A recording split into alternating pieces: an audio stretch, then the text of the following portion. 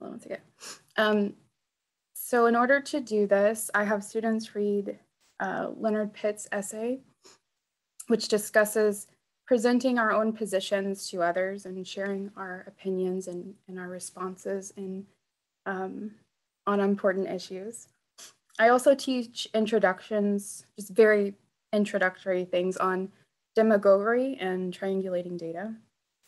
Um, we analyze diverse presentations of the same information coming from different, you know, quote unquote sides of the issues. Um, so for example, we will look at uh, Ben Ferguson's Facebook page, um, and then we will compare and contrast that to something like Occupy Democrats Facebook page. Um, we see there that the same strategies of persuasion and or manipulation um, are being used on both sides.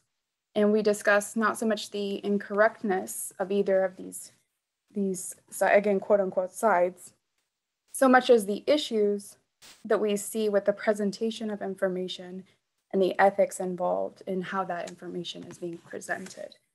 Um, and we see a lot of very similar strategies and tactics, um, such as name calling or um, taking things out of context and things like that. So students are analyzing a particular argument, and then after doing that research and that analysis, they are able to then present their informed response in addition to what they found through their analysis.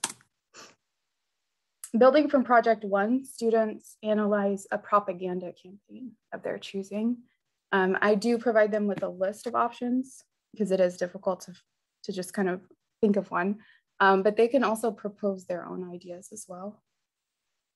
Uh, here, students are learning to not only identify propaganda, but also respond to it again. Um, debunking is part of the project goals, but they are also encouraged, encouraged to um, discuss why it's significant or particularly problematic and how others need to be able to see such information for what it is.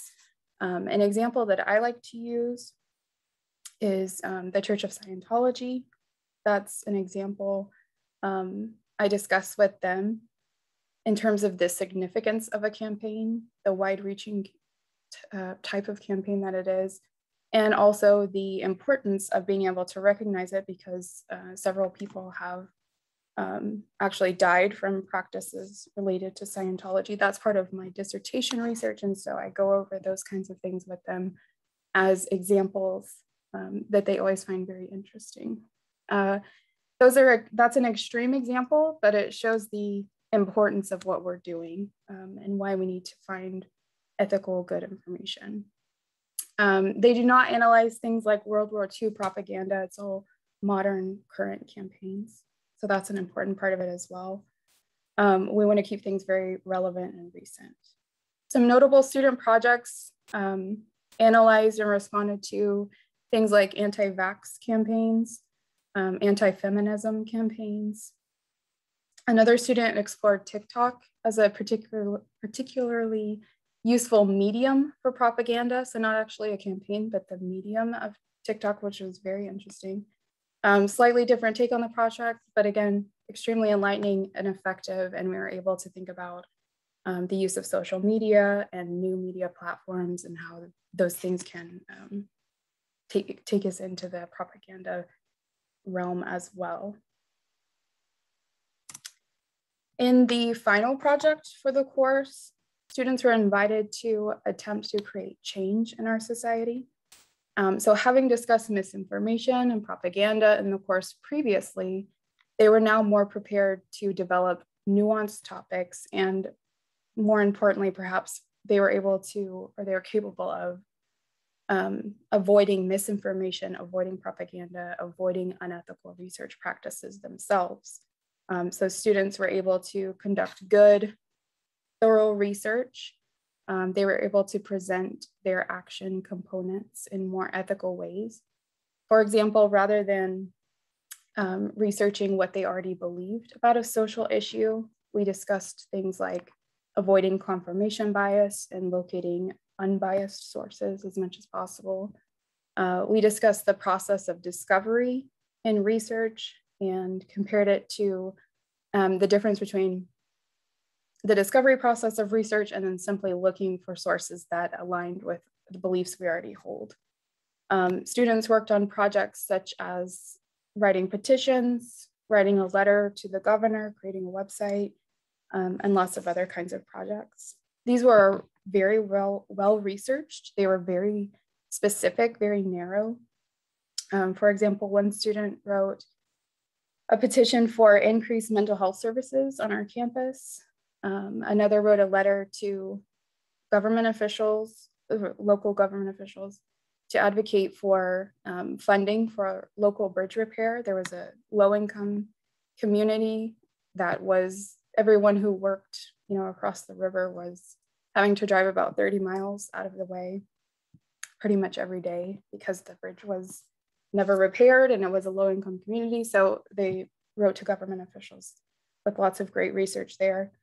Um, another student wrote a PSA discussing um, their recent research on marijuana and the dangers that we don't often hear about in the media. So instead of where we might typically just see a paper on why we should legalize marijuana, they were instead uh, speaking to a larger audience and looking at recent research on um, issues with lung damage and things like that that um, aren't usually discussed. So it was a very interesting project, and they were using what they had uh, previously learned about misinformation and good research and good argumentative skills, and then putting it to use in this kind of social action activist sort of way. Overall, uh, the three projects presented here worked very well to scaffold toward greater engagement in research and on recognizing and limiting the use of bad sources. Um, students reported that they were comfortable speaking about these social issues um, and that they were comfortable speaking about rhetoric and propaganda in other classes and in other situations. They also often brought up or or actually would bring in examples that they wanted to discuss in class. I'd like to emphasize that they wanted to discuss that in class with each other and with me, um, which was which was amazing. Um, for example, they would share with us um, memes or news, you know, fake news stories that their grandparents had shared on Facebook. Uh, we discussed these as a class and we applied our concepts to them. So we would apply um, demagoguery or trickery or misinformation ideas to those memes and stories and things like that led to excellent conversations. Um, I saw students engaging in their research in new and exciting ways, and I saw them truly, um, truly, honestly, I think caring about the work that they were doing, whether it was analysis or responding to something or taking action. Um, so I was seeing this as active citizenry, where they're being active citizens. They started thinking about um, political campaigns. They started thinking about voting, voting rights, and things like that as well. The importance of voting, I think, as well.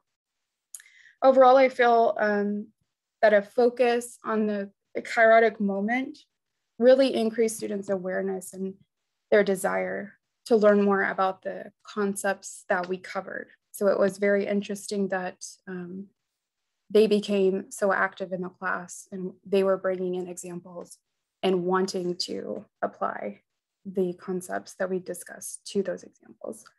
Um, overall, I'm continuing to work on this process, continuing to develop this approach further each semester that I work on it. Um, but I've consistently found students to be overall just more engaged, more active when I'm teaching with these strategies um, and when I'm inviting them to bring in ideas and bring in examples that um, that they see taking place in the moment. I mean, I think that just kind of brings a lot of relevance to the class. Um, so overall, that's my approach. I welcome any thoughts and, and questions on this. Uh, thank you so much for your time.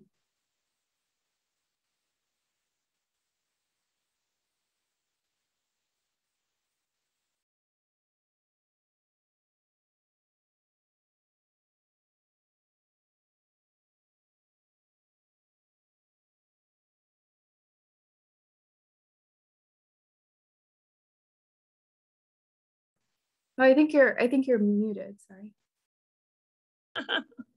I've been sitting chats, so that's a Manira. Would you like to present now, or would you like to wait and uh, take a little more time to prepare? Yeah, I can go. Sorry about that. I was just like having my computer dying issue. Nothing, you know, unusual. um, yeah, yeah, I can go now. It's fine. All right. So um, let me go ahead and introduce you. Um, I'm sorry. Also, I hope I'm pronouncing your name correctly. Manira Mutmaina. Is that close? Uh, Mutmaina. Yeah, you got it. okay. Uh, I, uh, you know what? And also, as I found out uh, with Sarah, that some of these biographies are out of date because I guess people wrote them a year ago when they first applied. Um, but right now, I have that you're currently a graduate student working towards your doctoral degree at uh, the Department of English at George Mason University. Is that still mm-hmm. correct? All right. -huh. Yeah. Um, your research includes, but is not limited to, language acquisition, writing studies, EFL and ESL studies, and rhetoric and composition studies. Mm-hmm. Okay, so I'll turn the floor over to you now. Thank you. Um, let me just uh, quickly see if I can share this. I think I can. Okay.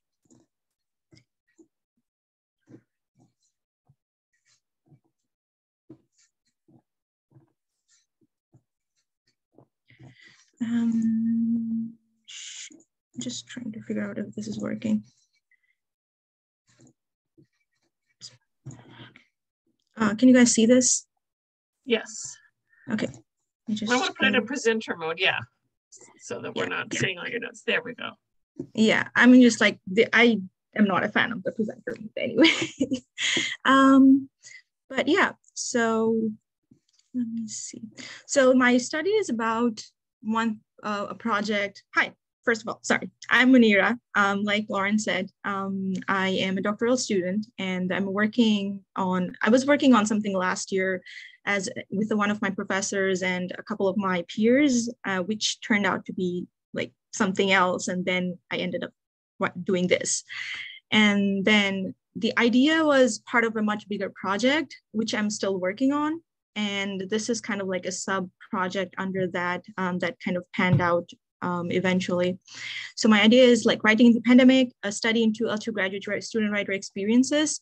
Um, I was planning to like, I started off with focusing on um, like something like the experiences of the uh, graduate student writers during the pandemic, especially because last year it was um, with the transition from um, online, you know, traditional in-person classes to online classes, we had that shift of people feeling, you know, a sense of loss of community. Like I know as a student, I felt that multiple times where I felt like, okay, I cannot no longer go to the library and check out a book uh, the way I used to because um, I'm I'm far away. I was far away from campus at that point of time because I just, I was moving.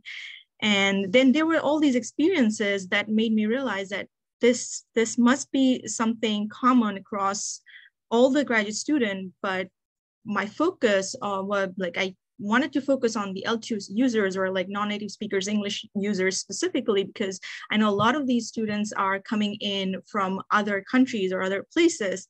And when you transition like that their their whole their whole basis or their whole you know they work um, they stay or they work or they function regard, revolving that campus environment, um, um, you know, surrounding that um, the institutional um, support, the peer support, the faculty support. So what happens is when you shift them on when you transition, when such a big transition happens where everything is uncertain, a lot of these other crises um, comes um, in the front and you know um, causes insecurities and like, issues in their like mental health physical health and in general like their life writing experiences as a graduate student.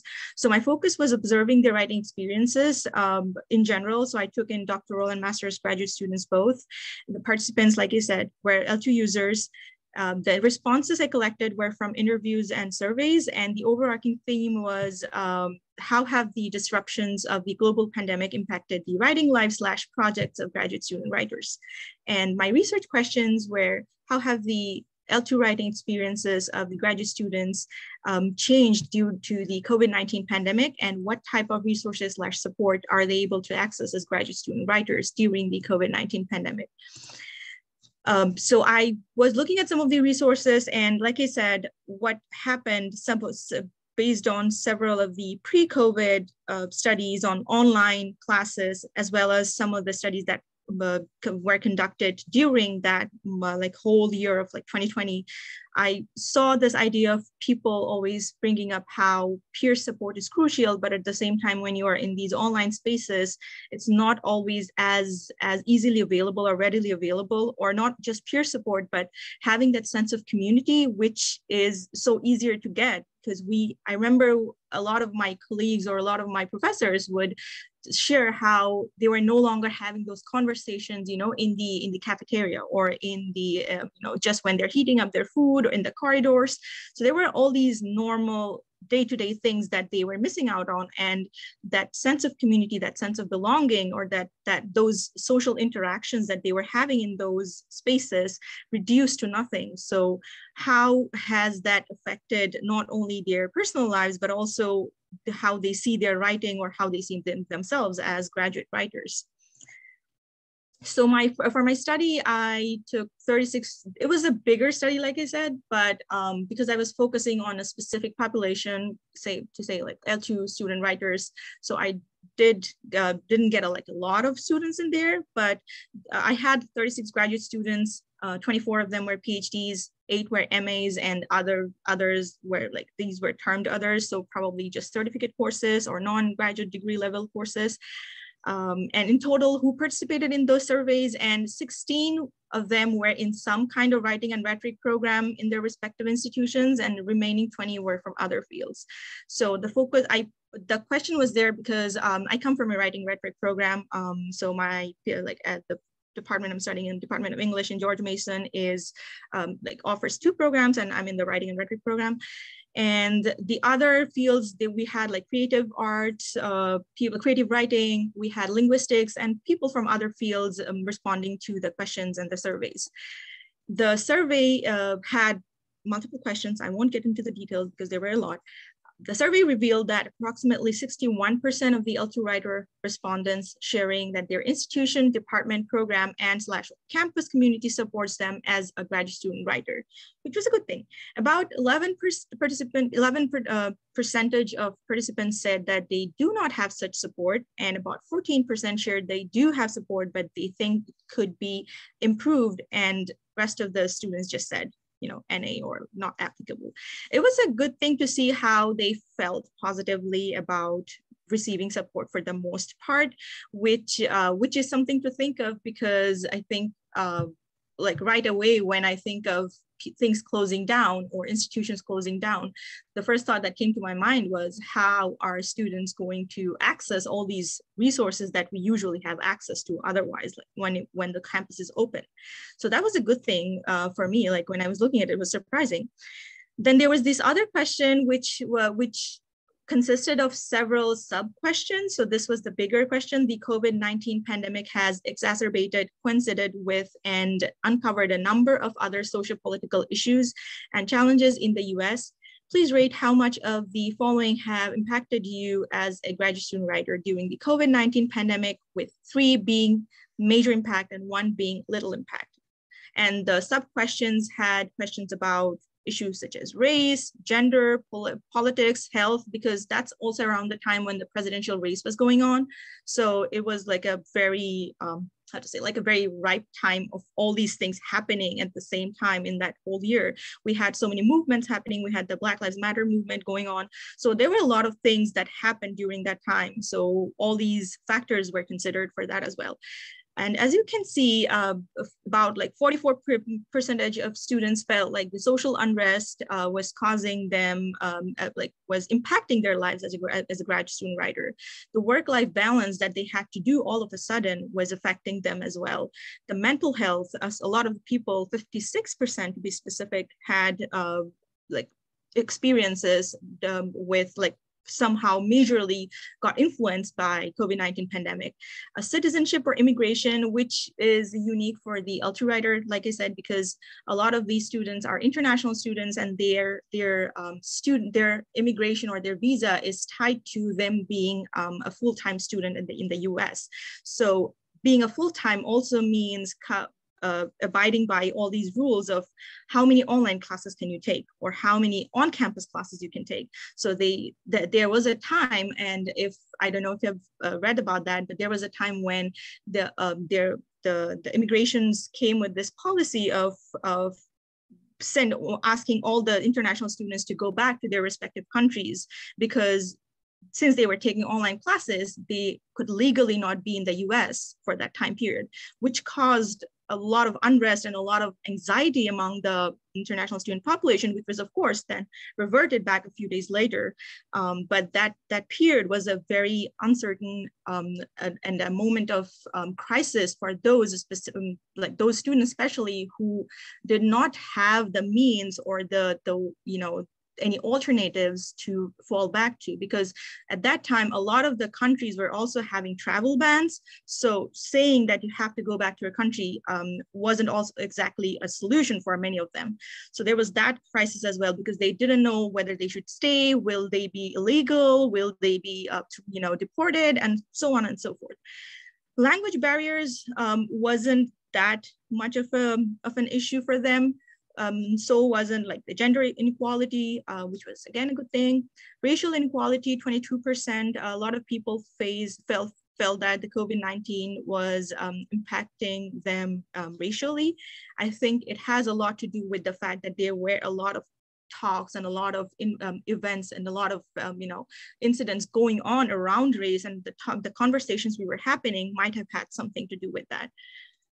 Uh, the common activities such as going to the library, making use of the library space uh, was no longer possible for most of these students due to the pandemic, which is why more than half, like about 53% of the people responded that access to the library being significantly impacted has also affected their reading, writing processes as an L2 graduate student um, I remember uh, going to the you know academic social media platforms during that time, be it Reddit, be it Twitter, and seeing all these people, especially those who are at the cusp of graduating, who are working on their thesis, who are working on their dissertation, getting frustrated because they simply could not access the resources they really needed, and there was no way they could find a digital copy of it or they could access because there was this time when everything was closed because nobody knew what to do. Um, so there was that there was there was this period where people were um, facing issues in terms of how they could access the library or the resources that it offered. Um, other resources except for peer advice do not seem to have been impacted as gravely as the library access if you look at the responses. So graduate student write-ins, because a lot of the things moved to being virtual um, during last year. So write-ins, we I remember we even in our program we had uh, virtual write-ins um, every uh, like on on a frequent basis, so the students could you know log into Zoom and then just do their thing, do their writing as as uh, for that time period. Other services or events or services like in terms of non-writing cultural events those were also uh, being you know celebrated or being conducted on, even on a virtual platform. So they didn't feel there was th those things were being impacted as much.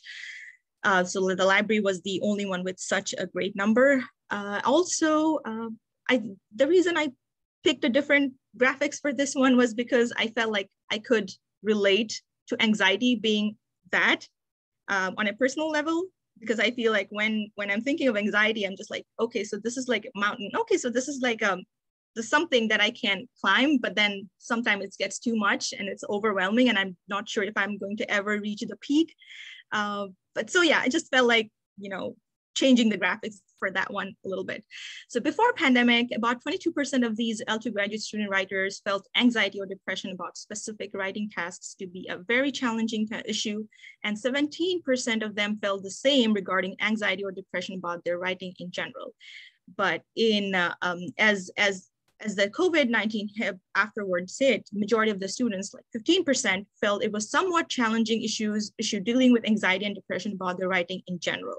So uh, it, it was, so it wasn't as big as I expected it to be so, because I felt like all these students were already dealing with anxiety and depression as it was, even if the COVID-19 weren't there.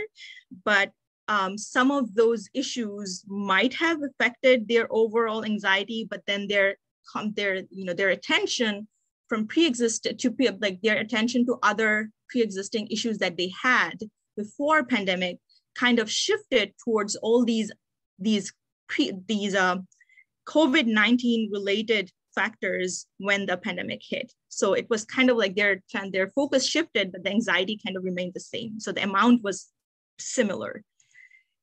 Um, the majority of the students in uh, in like the L2 graduate students, they found that uh, like uh, they were they said that several of several aspects of their writing were very challenging during the COVID-19 pandemic uh, because of some of these issues that you see in the graphics. So incorporating feedback, finding the time to write. Again, it connects to the work-life balance because a lot of this, these were work from home uh, parents, single parents trying to juggle um, their writing time and their like how their duties as a parent and like falling short and feeling bad about it, and all these kind of factors that came up in the interviews and the surveys, approximately 58% of them had issues with focus and the same amount faced challenges in maintaining a regular routine. About 56% found it very challenging in regards to their writing in general, and around 61% considered the same regarding writing about specific tasks. In terms of incorporating feedback, about 53% of the participants shared that it was not challenging before the pandemic, whereas 50% uh, of them found it somewhat challenging during the pandemic.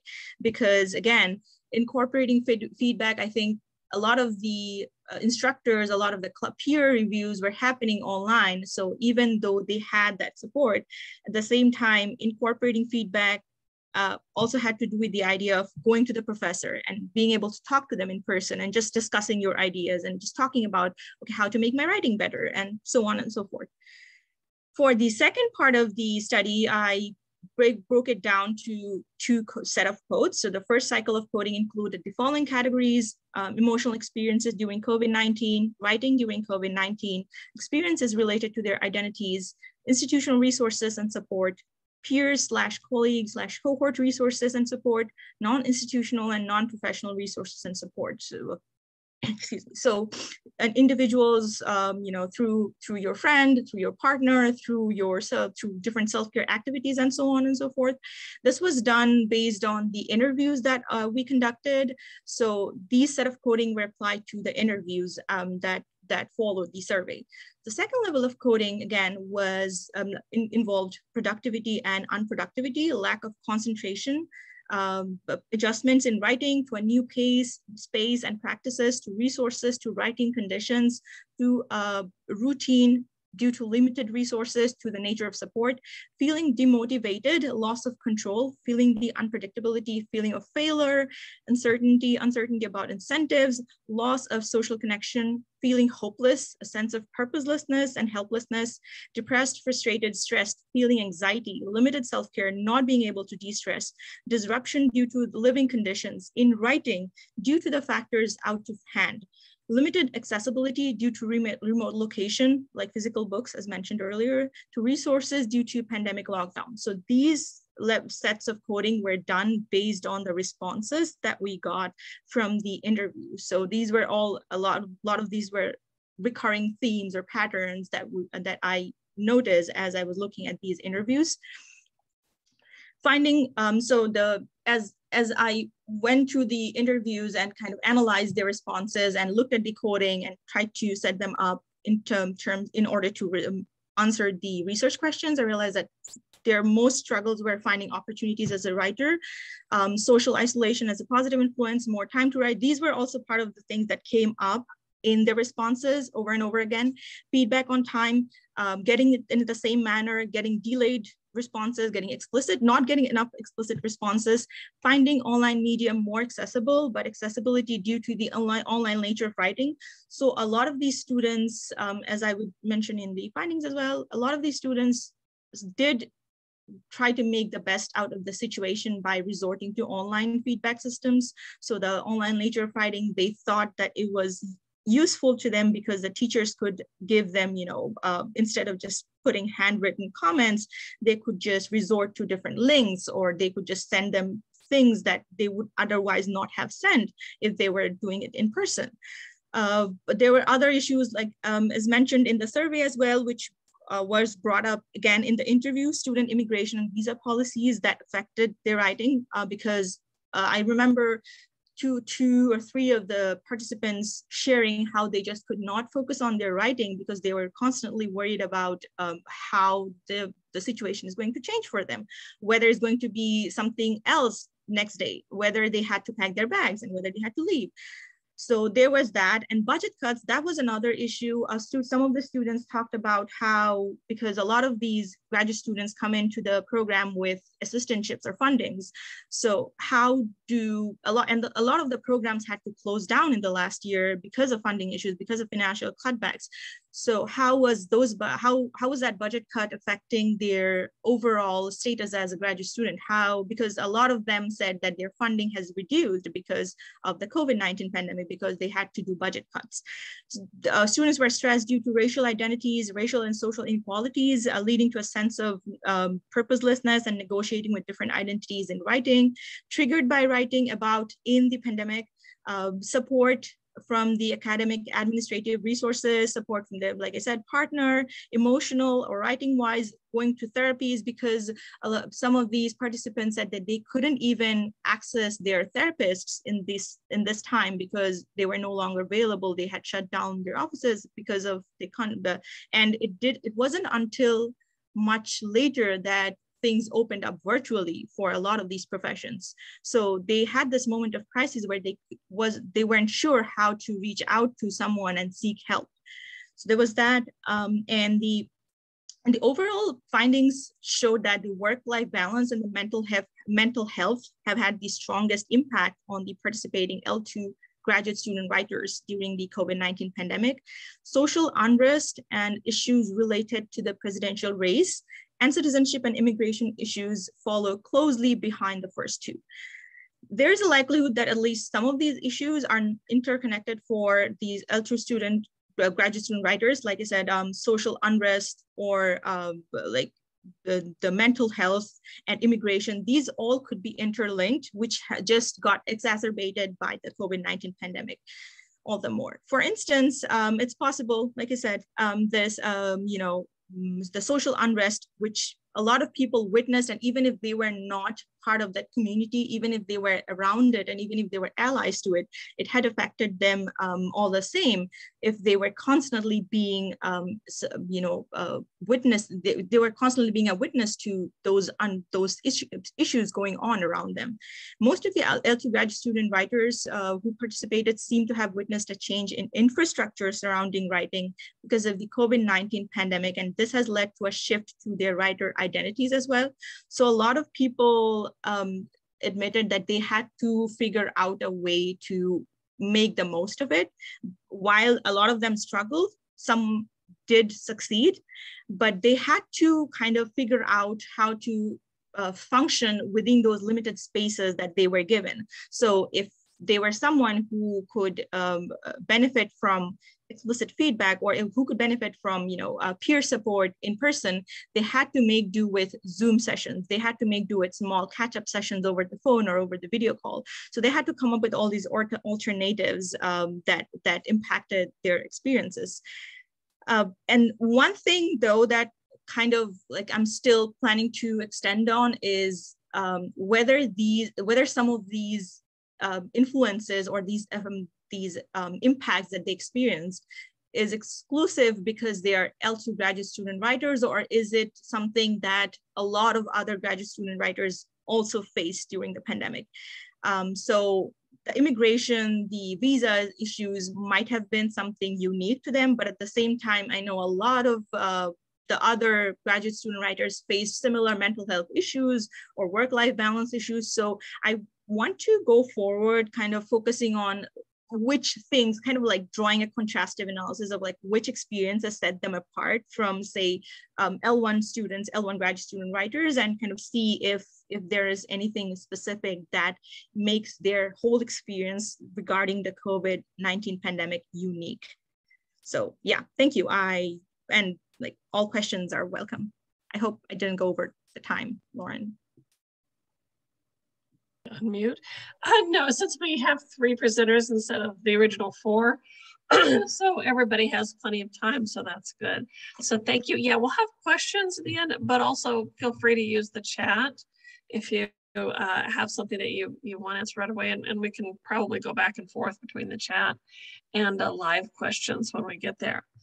Okay, we have uh, one more presenter, Clement Labie. Did I spell that? Did I pronounce that at all close? Okay. That's wonderful. Oh, you're a P. Are you still a PhD student, or have you? Uh, uh, uh, not for very long, I hope, but uh, at the present time, I am. Okay, so so you're a year farther along on at the University of Luxembourg. So I think you're the farthest away that I've I've had uh, in this in these sessions. Your interests include legal philosophy, meta ethics, and the history of ideas. And you, moon, if you really you moonlight as a corporate lawyer and a manager in the field of private equity. So, uh, all right, let's all let's all hear your presentation now. Yeah. So, um, um, so yeah, because like I'm, uh, okay, all right. Um, so does it look somewhat presentable now? Ah, yeah. Yes, All right. Yeah. Look, look at me. I'm using technology. That, that's cool. Uh, okay, so my presentation is uh, called Legal Rhetoric and Rules of Interpretation. That's uh, a very abstract and uh, a bit uh, uh, unengaging I cannot title, but I, I, hope um, it will get better. Uh, that's uh, my name and uh, my face is uh, just the one you see on the picture. Um, okay. Um, I, want you to introduce to that fellow uh, on the right of the, um, of the screen called, uh, well, his last name is Perelman. his first name is kind of lost. we know he was known as Charles late in his life. he was probably, its real first name was probably Chaim, uh, but it was not the name he was born uh, with. Uh, we know he was born in in Warsaw, in Poland. in the early um, 20th century, he immigrated as a, as a youngster to Belgium, became a Belgian citizen, and is, um, let's say, um, the, um, uh, the main uh, legal philosopher in the French-speaking world, uh, at least in the 20th century. Um, he, um, his uh, masterpiece uh, is called uh, Logique juridique, nouvelle rhétorique. So it's literally legal logic, new rhetoric. Uh, and it's a bit of a surprise uh, to uh, mix these two things together, logic and rhetoric, because we have that old tradition that dates back from the days of Socrates and Gorgias, that uh, logic and rhetoric uh, were um, opposites. They have opposite ends, they have opposite purposes, and they have opposite means. So why, um, what did Perelman did have in mind and what was he trying to say? Okay, uh, I start with uh, an example uh, that Perelman himself uh, uses. It's not his, but it's one of the main um, easiest way to understand uh, what is trying to accomplish. You enter a park, a public park, and uh, you, uh, you see a sign, uh, the sign says, no dogs allowed. And look at that uh, uh, cute little bear on the left. The question is, the sign says no dogs allowed. Will that little fellow be allowed into the park? Look at it, it's almost unbearingly cute. so what's the answer? And the answer, says Perelman, is even legally, is not easy to determine because uh, we have as many principles of interpretation, shall we say, so meta principles. what happens behind the law. When you have a written law, how you're supposed to construe the law. You have as many principles in favor than against. No dogs allowed. No dogs allowed. Bear allowed because it's an a contrario. So no dogs allowed. So a, a bear being a non-dog is allowed. Bear allowed in dubio pro libertate. That means that when there is a doubt about interpretation of uh, legal rule, well, you should interp interpret that legal rule in favor of uh, freedom. So there's a freedom of, uh, you know, uh, walking your, your tame bear with a little leash uh, over there. That should be the, the winning solution.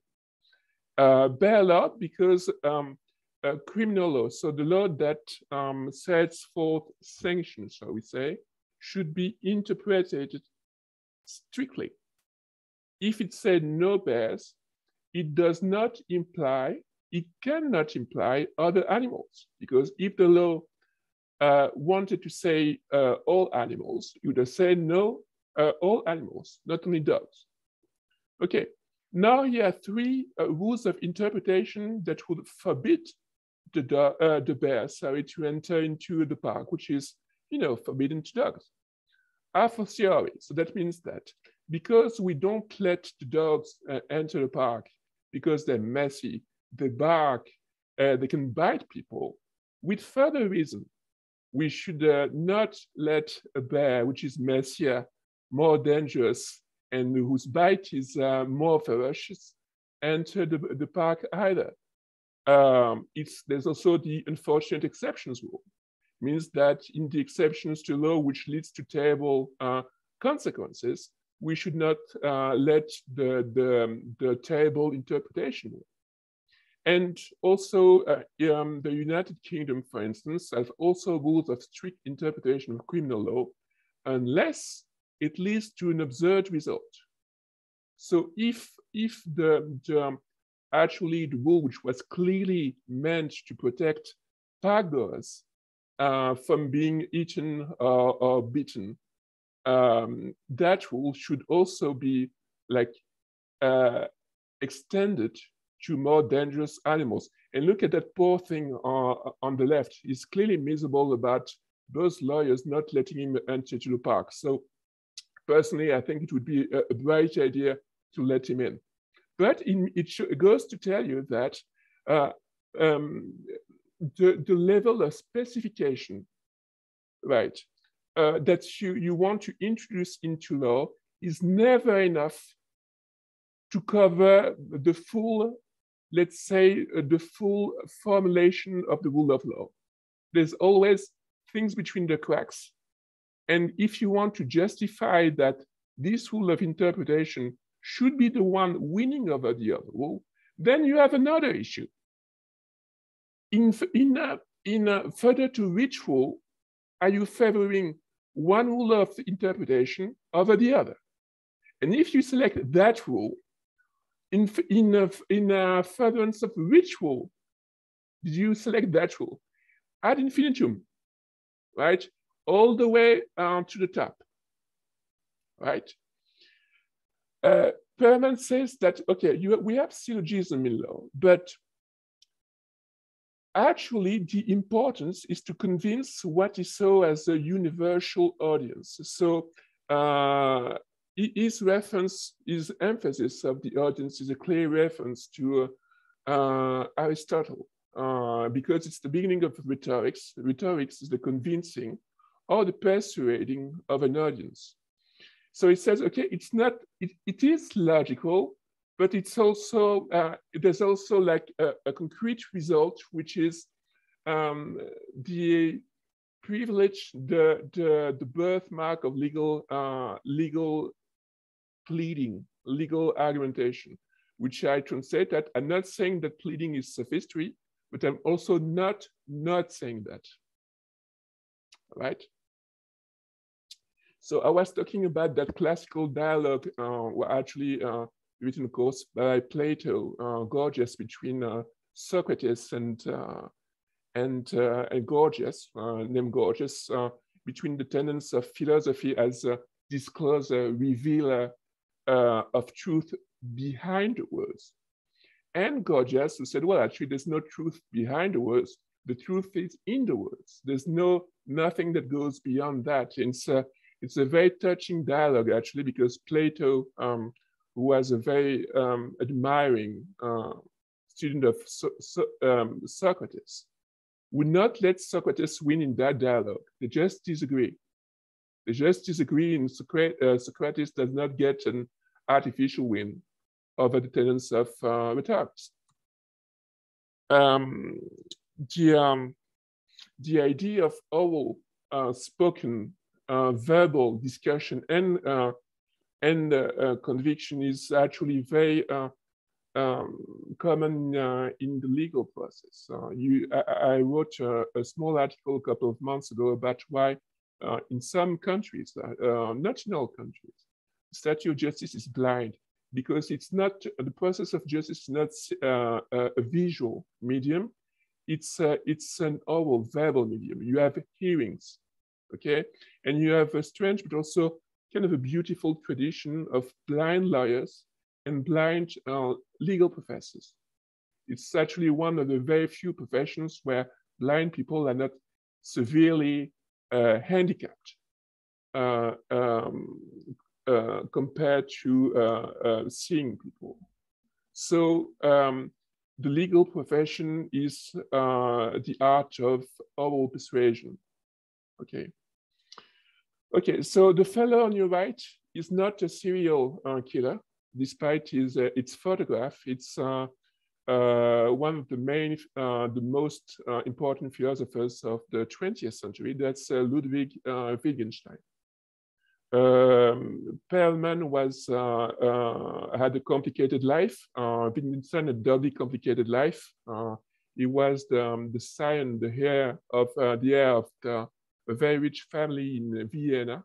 Um, uh, two of his brothers committed suicide. one other tried. He tried a couple of times. He had a very depressed life, and he had the first philosophy, um, first let's say trend of philosophy when he destroyed philosophy and when he was tired of getting that, he had another philosophy, uh, which is uh, uh, um, pretty much consisting of um, language games.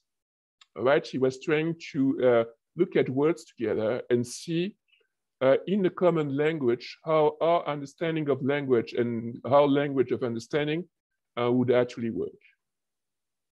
Okay. This is in our philosophical investigations. I, I read it aloud. That's the proposition. Any interpretation still hangs in the air along with what it interprets and cannot give it any support. Interpretations by themselves do not determine, determine meaning.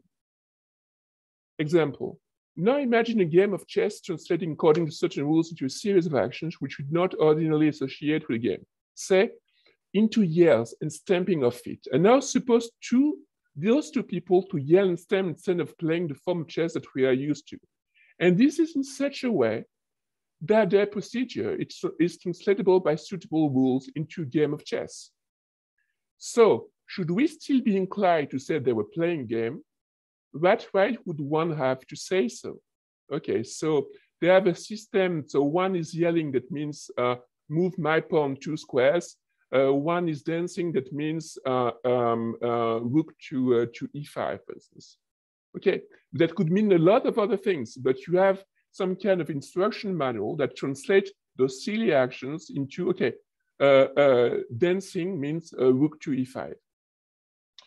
No conclusion, no course of action could be determined by a rule because any course of action could be made to accord with the rule. What does that mean? Okay, that means that every type of practical solution could be seen as a confirmation of the rule, but also a confirmation of another rule. So does that mean that he's made a, a precedent? So does that mean that he's advanced his work? Or is that code for I'm really tired? Or is it a sign that, uh, that uh, uh, winter is gonna come uh, uh, uh, a little later in life? Here comes that, that guy that was the first that took Wittgenstein's, that part of Wittgenstein really seriously. His name is Saul Kripke, is is the only guy uh, still alive in my presentation. That's pretty dressing. Okay, but look look at, at that uh, beard and smile. Uh, that's a man that really appreciates life. Okay, it takes the following example. Uh, when you learn mathematics, don't learn mathematics, you learn counting, right? One plus zero equals one, one plus one is two, one two is three, and so forth, okay? But you start with little numbers, small numbers. You never reach a number, let's say greater than 57. According to Wittgenstein uh, philosophical, in, philosophical investigation, you could, you could guess for instance, under the influence of drugs or whatever, that that cross over there does not mean addition, but addition if x and y are below 57, all right?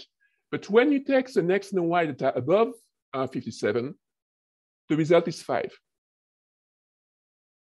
Question, how can you convince that person that is wrong? And the answer that Kripke um, brings is uh, a bit disappointing because they say we can't. The only clue we have that uh, plus always means addition is that everyone, everyone seems to consider that plus means addition. Uh, uh, Wittgenstein said that there could not be a private language, okay? If there's a language that implies the community of speakers that uh, construe the language, language in the same way. It could not be, for me alone, could not be plus equal, equals a certain value under 57, a certain value after 57. So that, that's that's to, to come back to that uh, um, to that uh, uh, example I gave about the bear, the bear. Sorry. Well, uh, well, um, there's there's a moment when um, there is no, an obstacle in interpretation, which is there is no rule that could guarantee that a rule of interpretation is better than one other rule of interpretation because they are not contradictory. Okay, when I say a fortiori and uh, a contrario, they kind of imply something else. But what, what is that something else? That a fortiori means that the two situations you're comparing are comparable. Okay? Uh, and that you kind of guess the intention of uh, the lawmaker to include something more in the law that, however, does not contain the words you want it to contain. But it's also, when you do that, you implicitly call upon a law which says, okay, in case of that, what did the lawmaker intend? Which is like a, a, a, question which is not entirely settled by the Supreme Court, for instance, because some judges say, okay, it should be the, uh, the, uh, the current meaning. Some say, okay, it was the meaning meant by the lawmakers. No, it was the meaning we should take into consideration, I think, um, the, um, that lady that was uh, appointed uh, in 2020 said, okay, no, it was the meaning, it was com commonly accepted by the, the people at the time that uh, the, the law was enacted. And to determine which of these law interpretations uh, you need to pick, well, you need another law. Okay, that brings us to that guy. Uh, that his name is Hans Kelsen. So there's a debate in, uh, in legal philosophy it sounds kind of silly, but I'll, I'll, I'll um, pose, I'll ask these questions as simply and as clear as I can. Is the law just the law that is uh, sanctioned, um, recognized, written? Uh, I'm not, I'm trying to think of uh, other words, enacted. And that's all. Or is the law a set of universal principles that apply even though they are not currently respected or enacted in one uh, particular system of law. Okay, if there is a law, is there a law, for instance, uh, thou shalt not kill, that applies even if you're a Nazi and you really want to kill that person? That was the question of the, uh, one of the question of the Nuremberg uh, trials, by the way. Okay, is there a universal um, uh, ban on killing? Okay, and his theory is that he was uh, nominally he was in favor of he was he was what we call a positivist, i.e., the, the only law is the enacted law. But he posited that above uh, above the the the, um, the, enacted law, there was what they call the Grundnorm in German, a basic law that was superior to everything. So a kind of meta uh, constitution, hyper constitution, something above the above, which is a highly mystical principle. Okay, and what is that Grundnorm? Well, we'll never know because he died without uh, without uh, uh, writing uh, about it. Uh, also, I suppose because the the, the answer is incredibly uh, difficult to, to, give. All right. So we see that um, in in rhetoric, that's was the position of Perelman.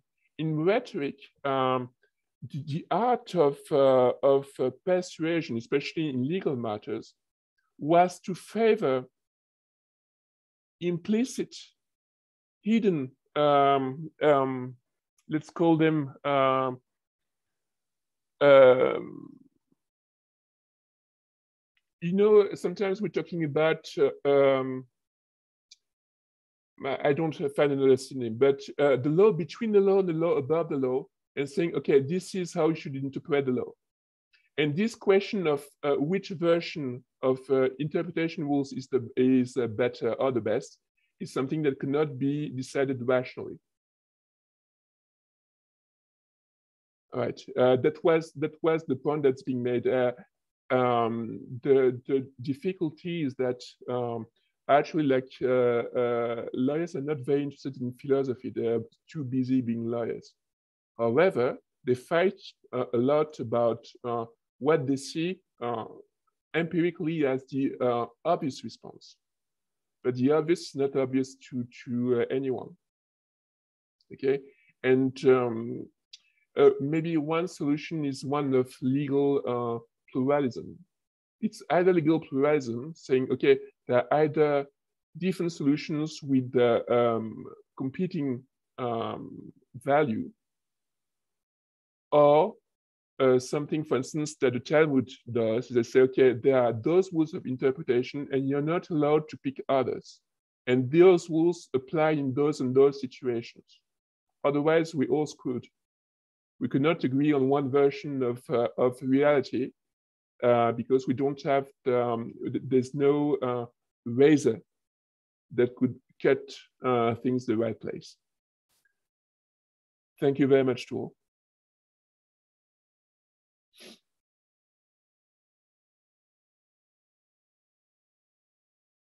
Unmute. There we go. Yeah. All right. Thank you, everybody. I, I, I realized we had in this, because it was online, and so we had uh, people who couldn't come to the in-person session. So I'm really glad we were able to get together uh, a wide variety of ideas and presentations here. Um, does anybody have any questions? As I said, you can unmute and ask a question of one of the speakers or one of your fellow panelists, or you can go ahead and put it in the chat um, and let people respond that way, whichever uh, you're more comfortable with. Are there any questions here? Manira, I, was going to ask you uh, what, um, perhaps you were you were hinting at that towards the end. What is the goal of this data that you've gathered as we move hopefully out of the pandemic? Is this something that's going to change the way services are delivered or How's it going to work? That's thank you. That's actually a good question because I think part of why um, I'm extending this um, as like making this bigger is because I want to address that specific issue. Um, because I know we are in a much better position in terms of COVID 19 and handling things.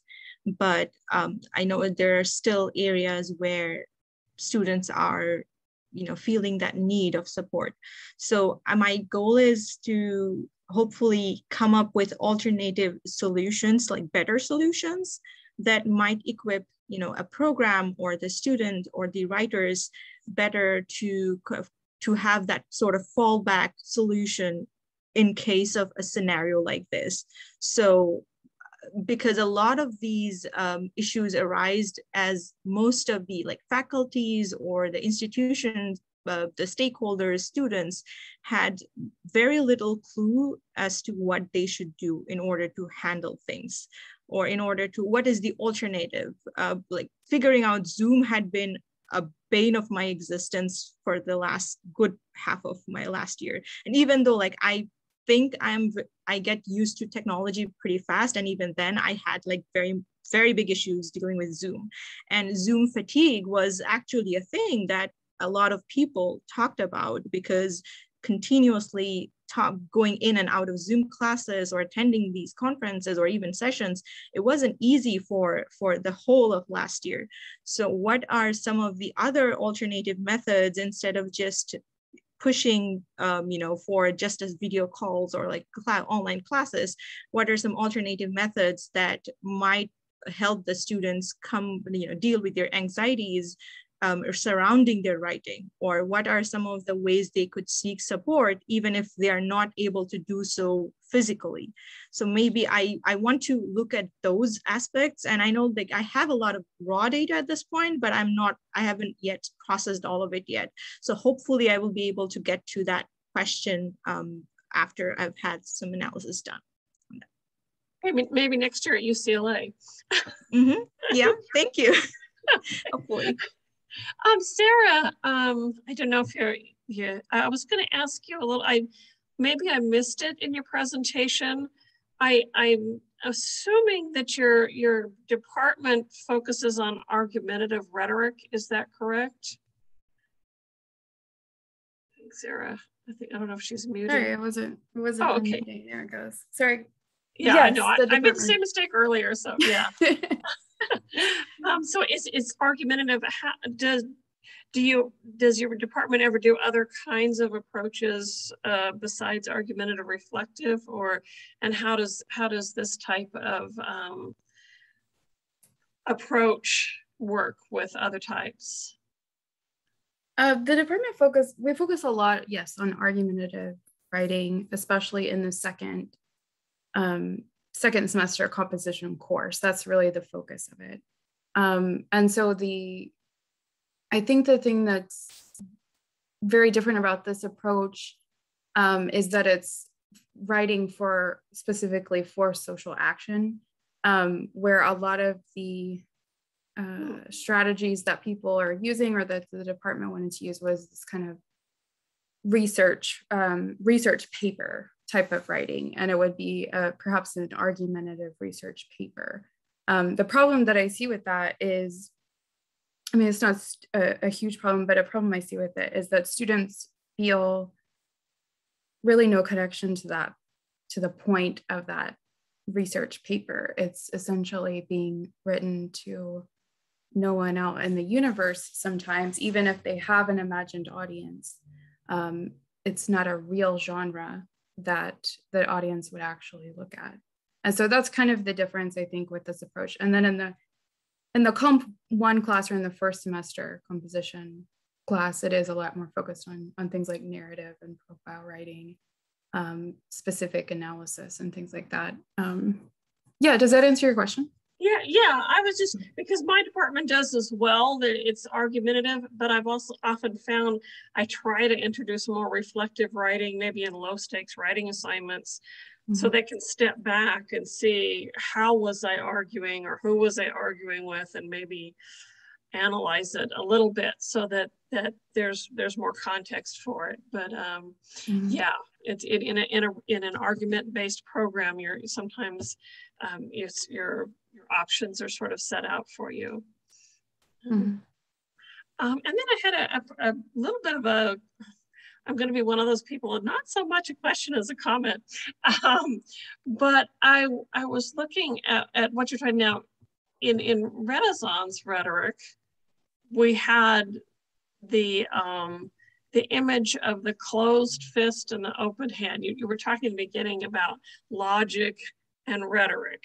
And the closed fist of logic because there there wasn't any fudging that. Um, and then the open hand of rhetoric, which is where you were trying to reach out to people and, and convince them where there was not a, a, a set answer, but you're trying to convince. So I'm, I'm taking it, you're, you're trying to push the parameters of those a little bit or um, uh, in terms of how a rhetorician or how a composition teacher might work with this, how do those two categories maybe mix with each other or?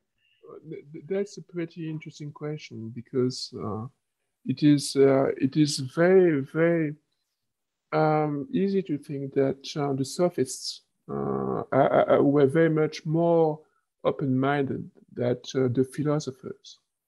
Uh, because the philosophers like uh, uh, you know uh, the, these old guys plato they would allow ideas and opinions as long as they were not too different from theirs and as long as they could or as long as they could refute them in less than 30 seconds. But the sophists, you know well they were all for for the expression imagination designing of of many ideas. Actually that's how they made a living and the made of living of uh, convincing other people. Uh, uh, your question also touches back to to very um, difficult question, which is to say, uh, is it possible to hold one possible uh, objective truth, one only objective truth, uh, when your mind is opened all the time to everything? Or should it close at one time? And on which criteria uh, should close. And, and, that's not that's not an easy um, uh, question to answer. Uh, I have my opinion on the subject. I think I, I, don't like to state it, but I think it's pretty obvious. But but the the general idea that um, you know the a closed fist is a closed fist. It's not uh, it's not a pat on the back, right? Uh, you, you, go to you go to your stepmother say, "Well, she she welcomed me with a closed fist." Say, well, that's not a good sign. yeah, yeah. Um, but, but, but, people who are certain about the truth, they always always have closed fists. Have you noticed? They never wave or they never shake your hands. They, they have those. It, it's certainty over there. Right. There's nothing that could uh, that could break that. Okay. Um, any, any of the panelists have any questions or any of the audience we have? Um, I want to thank you again for coming and for being really part of the inaugural episode of, of PAMLA Online. So uh, it'll be interesting to see where, where we end up next year. But I do hope some of you can make it to UCLA. That's my alma mater. So I'm looking forward to going to the next panel. So I hope I see at least some of you in person and if not online. All right. Thank you again. Thank you. Thank you, Lauren. You're welcome. Thank you very much. You're welcome.